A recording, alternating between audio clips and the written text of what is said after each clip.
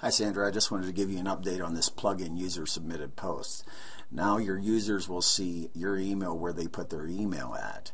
And so after they fill out all this information, they'll submit the post and uh, like you'll see this one Jack Smack that I did. If you click on it and then you scroll down here to the to custom fields, you'll see their emails are right here now. So you'll be able to contact them people whenever they uh, submit a post.